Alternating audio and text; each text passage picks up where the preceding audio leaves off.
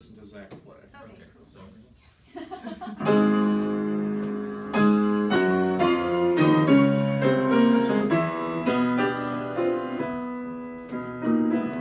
I'm not sure we started at the same place. Yeah, So we did. Sixty-six, three Absolutely. before seven, Okay. Three before rehearsal, so yeah. All right, so so you're playing the piano part, so you're not playing the vocal part. That's, that's exactly right. So I'm not Do seeing You want us to everything. speak the, We can No. speak. No, no, no, Well, no, it's done. Because what I want your minds to be is on the metric modulation that occurs here, rather than worry about what Oh. note to sing or what Look at words your to part, say. yeah, let me see what And- you are actually playing. And Scott, what you have to feel is the constant quarter pulse Okay. that now becomes, uh, the interior beat in mind not. See, in practicing this, I've recognized I didn't do it fast enough, Seven. and I didn't uh, feel da- da- the correct half note until seventy-three is when it kind I see. of rounded itself out. Yeah. Okay, sixty-six.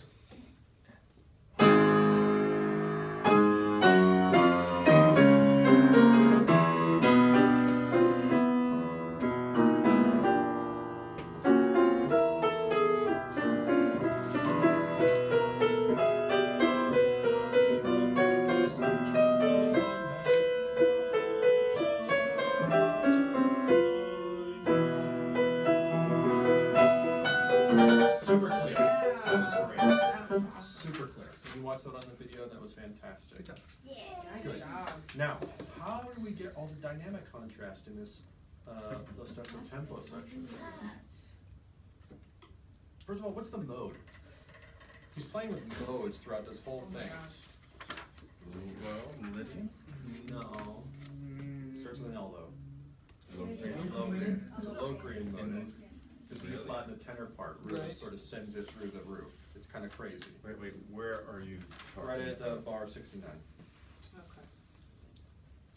And who's the most important instrument throughout this slow, quote-unquote, slow section? Trumpet. Yep. Yep. Says Oh, solo, the solo. right. Anytime you have solo written in your score, that's a good opportunity to circle that part. Yeah. So, that part's gonna come out of the texture. So, can you conduct at figure seven and articulate the trumpet rhythm? In two. Yeah.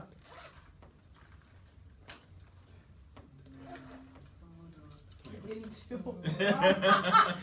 No, Um, no, but look at it, look at it carefully, because here is the, here is the trick. If you're feeling interior quarter beats, it's very easy. One and two and bop beep, bop bop, beep bop. mm.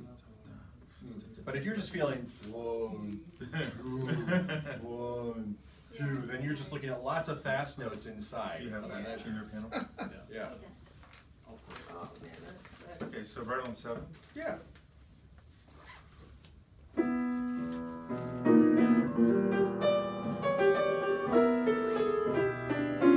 Good, good, thank you very much. Now, without Zach playing, you go one and uh, two and uh, bum, bum, bum, bum, bum. Okay? Okay, Try again.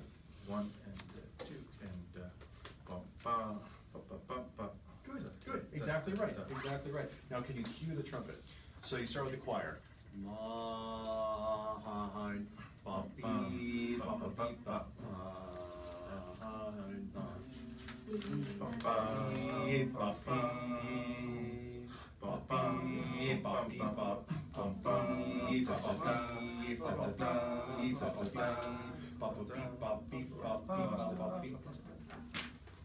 I just lost what step. So everybody has to practice articulating the trumpet part through this slow section when you're feeling it in two.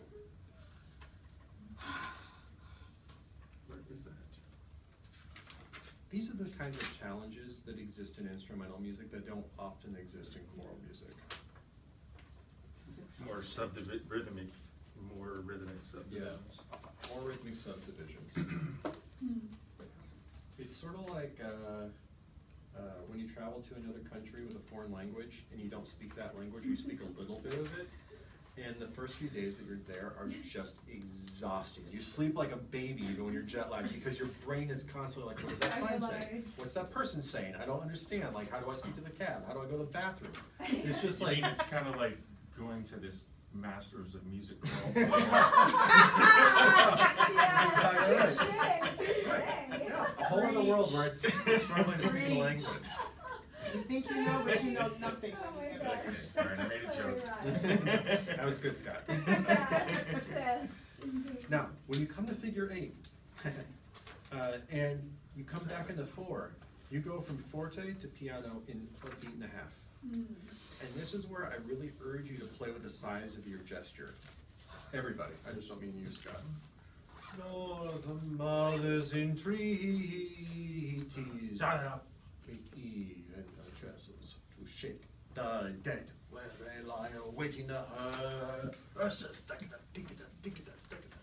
Gotta play all back and forth because you go from forte to fortissimo in matters of just a few beats. So this section is. Yeah. What are you, how, what are you envisioning in this slow section, Scott? Paratroopers? Paratroopers, all right.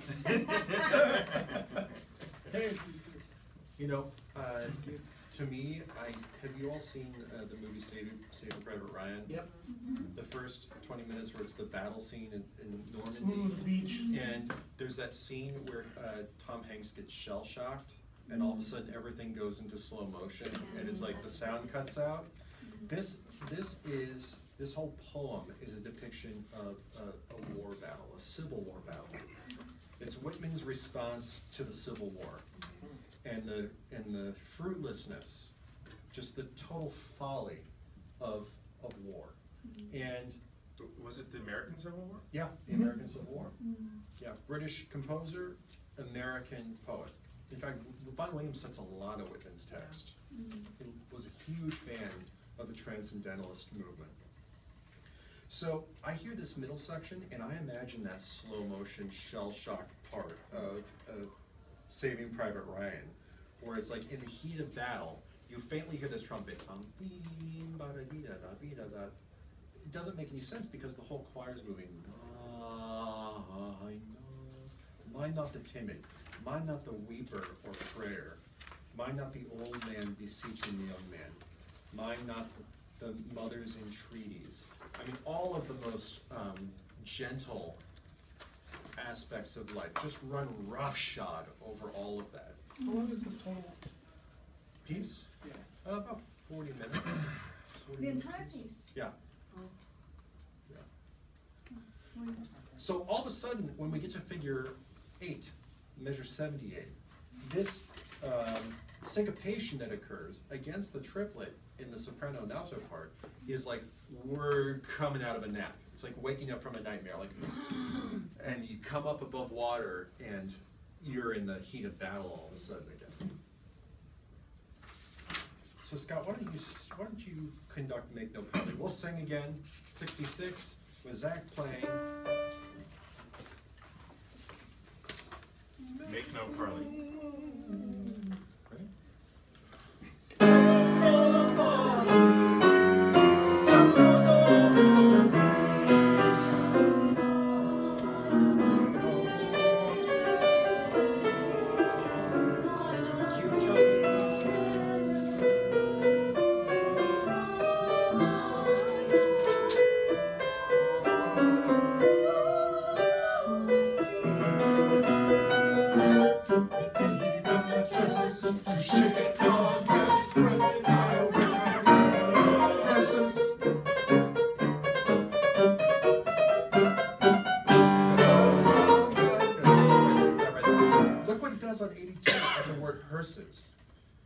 Know, he's building up the intensity.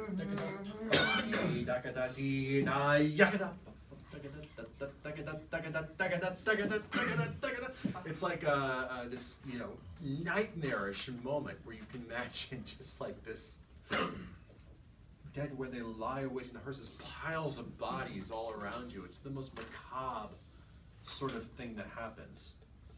And then, of course, what happens on the downbeat of 85? What's the most important thing that happens on the downbeat of 85? Um, Besides everything? Yes, Every- Emma, exactly right. What percussion? The cymbal, And what? um, the bass drum Right.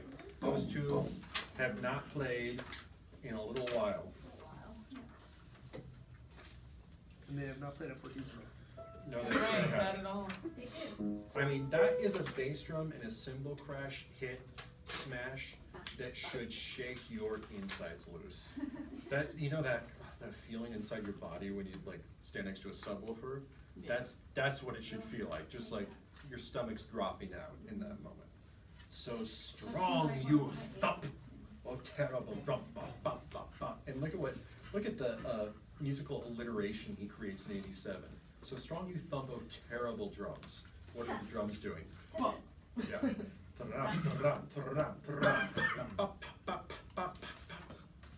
Yeah. So, so loud, and then who comes in? the organ. Yep. So loud, your bugles blow. And Zach, will you play the, um, accompaniment eighty-eight, eighty-nine? Yes. Just Uh, those block Yeah, yeah. chords. Ah, back to that feeling of organum again, right? Yeah just super medieval sounding. Medieval, medieval battles like crusades, like just heartless, disgusting violence. Mm -hmm. Then at figure nine, what's the most important thing that happens?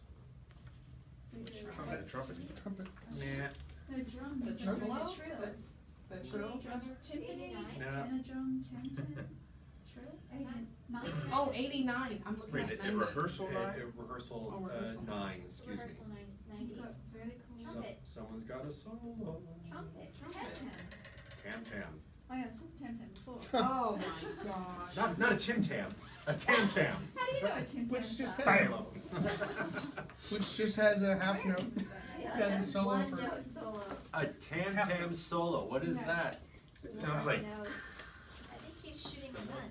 it's a cymbal, No, it's a, it? it's like a big gong, isn't it? It's a big Yeah. gong, but the difference between a gong and a tam tam is the attack. The, No. The depth Origin of of the the instrument? sounds, the deepness of it, no? A tam tam is tuned. Hmm. Oh, Tam tam is tuned, a tuned. gong is not. Okay. Which means- Yeah, What note is the tam Yeah, tam because tuned it's, I don't know, something. to? Okay, so it's. I think it's pitched. tuned so that it has like specific overtones and things like that. Yeah, I don't know if it's tuned to a specific pitch, Okay. but that fortissimo smash on bar ninety is the climax of this entire movement. Mm-hmm. So loud, you bugles. It sounds like, you know, the immolation of the universe. Like, the whole, the whole world is coming unglued in that moment. So, Scott, what I want you to work on, um, is to, to try to change the size of your gesture dependent upon what's called for.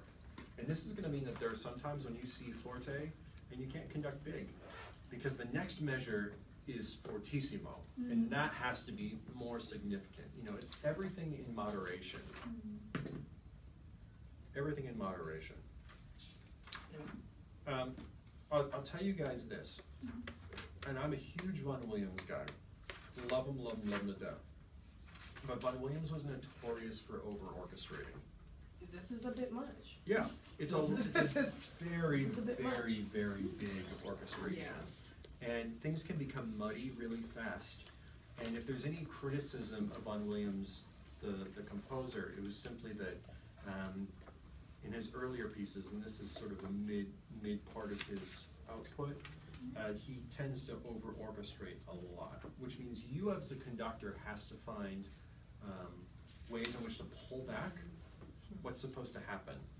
You know, you'll see, like at, um, uh, there's some places where he's asking the choir to sing piano, and look at the whole texture. Uh, like, Yeah, we were, li- we were talking about. yeah, like, where's one of those places? Let's see. Oh, over the traffic, over the traffic of cities, this is bar forty-one, forty-two. Yep, this is what we were talking Over the rumble of wheels in the streets, every single damn or instrument in the orchestra is playing. And he expects this choir to sing piano, it's still, even at a orchestral piano, it's just not really gonna happen. you have to ask the choir to sing out there, and you have to have the orchestra play down. I, that's, we were talking about this and wondering why he had them at, um, fortissimo thirty-nine and then the men at piano, we were like, why? Yeah, it, I appreciate you bringing this point out. Yeah. It- But it, it, it seems like, to a certain extent, you're not supposed to hear the choir because the traffic's too loud. Yeah, Mm. That's a great interpretation. I've never even thought about that before. look at that. That's so good. That's great. is cool, yeah. And it's frantic too, like, if you're going one twelve, over the traffic of cities, over the rumble of business streets, our beds prepared for the sleepers at night in the houses. You know, it's, it's like the, the barn's on fire and you're trying to get everybody out. It's just, it can't possibly be understood. No sleepers must sleep in those beds, no bargainers bargains by day, would they continue? Mm. It's a good point, so. Mm. Yeah. Yeah, so, so fight, fight, fight to have dynamic contrast in what you're showing. Your, your tempi are right on, by the way. Really, really well done. Okay, good, who wants to go next? Thank you. Oh, Scott, don't forget the cymbal crash in bar thirty-eight.